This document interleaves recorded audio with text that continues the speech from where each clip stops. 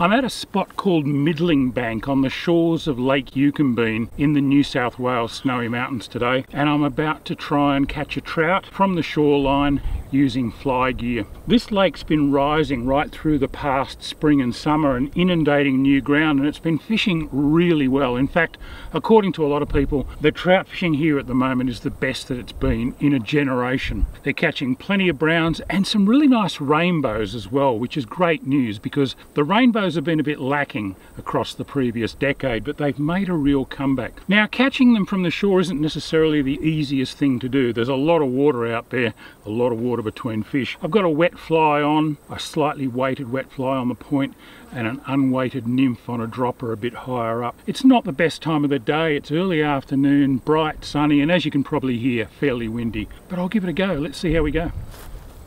I've chosen a stretch of sloping bank with flooded grasses along the edge and not too much behind that might get in the way of a backcast. I'm using a G Loomis NRX Plus 10 foot 6 weight rod with a weight forward 7 weight floating line and a long leader, about 16 or 18 feet all up, say 5 to 6 metres. After casting the flies, I allow them to sink for a few seconds before beginning a fairly slow retrieve. Figure eighting the line like this produces a very natural action. Work the flies all the way into the shallows, then pick up, take a step or two, and cast again. It's all about covering water, and I'm really impressed by the ability of this rod to punch out a long line, even in the nagging breeze. It's a very potent weapon. But despite my best efforts and lots of casts, I'm just not finding any action. Despite mixing up my retrieves and changing flies a few times, it's just not happening. About all I'm getting is some handy casting practice. Tucking the rod up under your arm and doing a double handed strip like this at various speeds is another option that can sometimes produce the goods but not today, it seems. I'm starting to run out of ideas. All I can do is keep belting it out there and hoping for the best.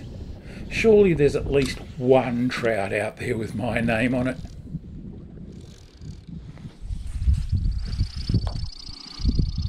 Well, that was actually pretty frustrating. I saw a few fish, I saw a few risers, a few jump.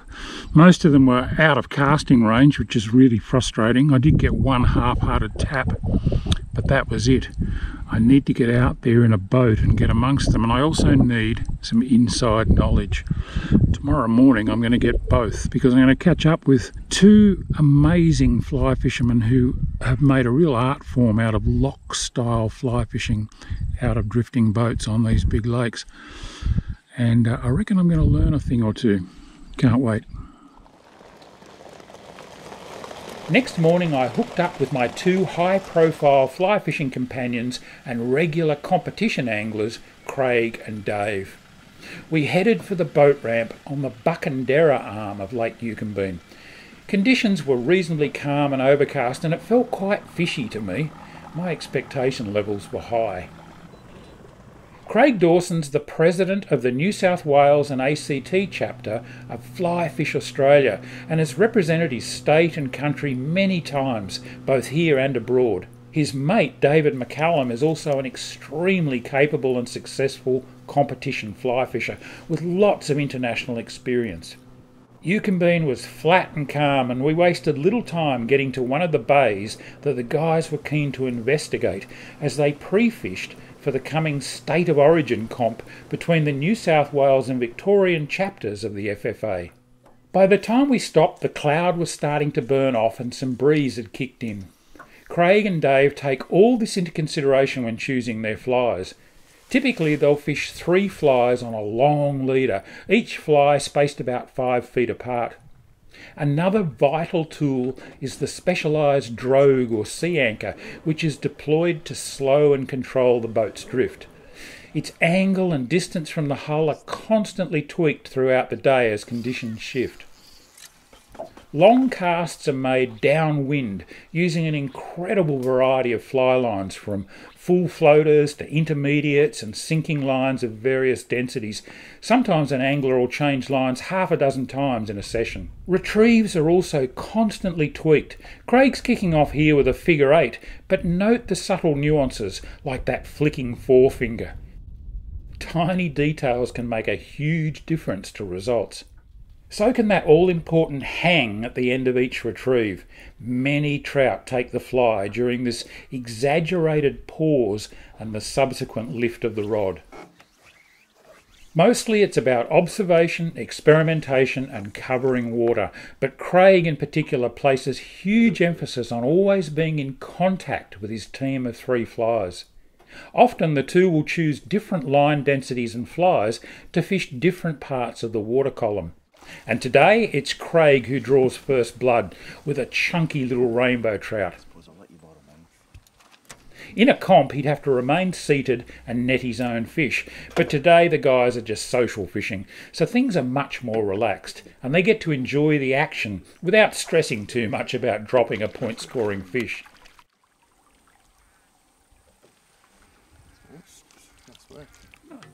All the flies are barbless too, and the trout release extra well. Not to be left out of the action, Dave was soon hooked up on a solid fish that slugged away down deep and put a beautiful bend in his six weight rod. 10 foot six weights are the most popular rods for this style of fishing, and they do the job well. Oh yeah, nice fish. These rods offer the ideal combination of casting, line control and fish handling. Most loch style fishers tend to choose tippets of about 0.2 millimeters in diameter, which test around 6 pounds. Sometimes you might need to go lighter to get bites, but that's something the guys would prefer not to do if possible.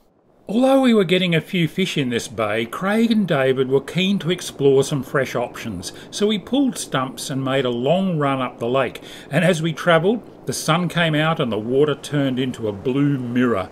These are far from ideal conditions. But you play the hand you're dealt, and both these skilled anglers are quietly confident of pulling at least a few fish under most conditions, even a glass out. It's simply a matter of constantly trying different lines, retrieves, and flies until something works, because almost inevitably it will. Got him. Snooze you lose, Davey. What's going on?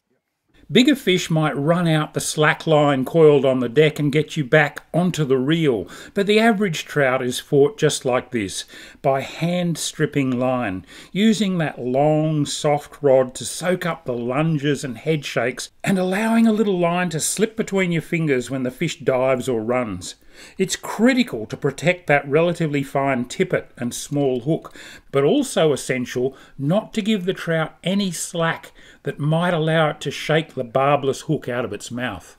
These Eucumbene fish are especially fit and powerful for their size, and they simply don't give up until they're safely in the net, often giving the angler a few nervous moments along the way. You really can't rush them, and here Craig offers the perfect demonstration of keeping your cool and calmly dealing with a hooked trout maintaining smooth pressure, but always willing to yield a little line when that pressure builds. It's pretty exciting stuff, especially when you first see your opponent. Brownie. This one's a chunky brown, a wild fish spawned in one of the lake's tributaries a few years earlier. Nice, nice release, Craig. I'd already learnt heaps by watching these two master practitioners plying their trade. They were poetry in motion, particularly in the way that they keep mixing it up, trying different lines, retrieves, and flies.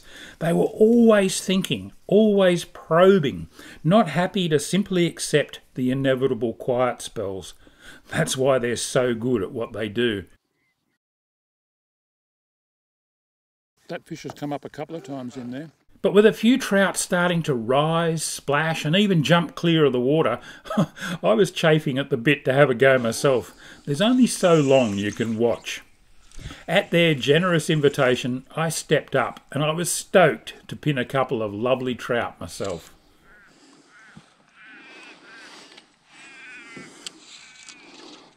Is that a brownie? Ah. I reckon it is. Yep. Sure is. I've done very little of this loch style fishing as it's known, named after its place of origin on the Scottish lochs, and I was more than happy to tie on a couple of Craig's beautiful little size 14 flies and give them a go. Thanks, mate. Oh, on the um, on the top fly too. It's in such good condition. I mean, he came spearing up out of the water like a rainbow.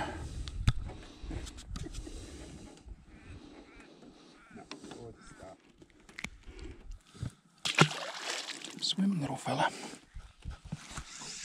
I was starting to get into the swing of this caper now, and when a trout jumped just beyond where my fly had landed, and then another one rose right alongside my oh. line, well, I felt like I was in the zone. Oh yeah, they like that cloud. And that little bit of breeze. The anticipation was palpable. Yeah. Right up high in the water. Yeah, yeah.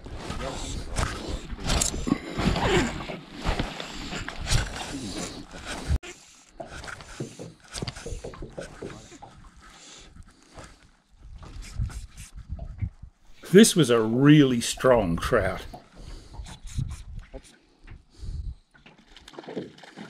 Nice fish.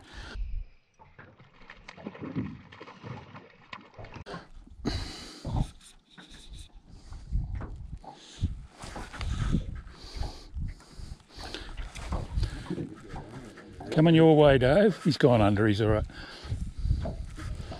I was like, he's not going to come across me. He's he's a bite of it. He's a crazy fish, this one. You're right. The hooked fish was taking me right around the boat and certainly keeping me on my toes.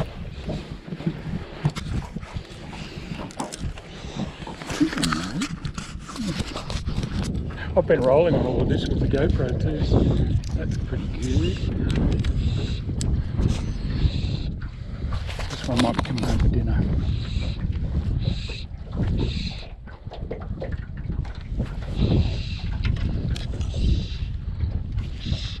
We're almost back to where we started. Oh, nice fish.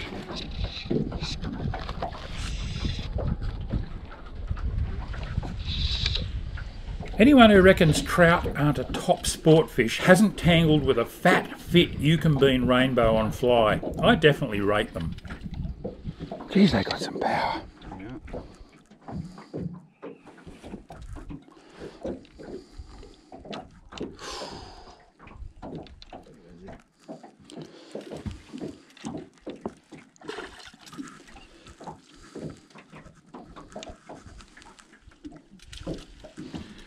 Thank you very much. Woo! He's solid. Oh yeah. Lifting him up. That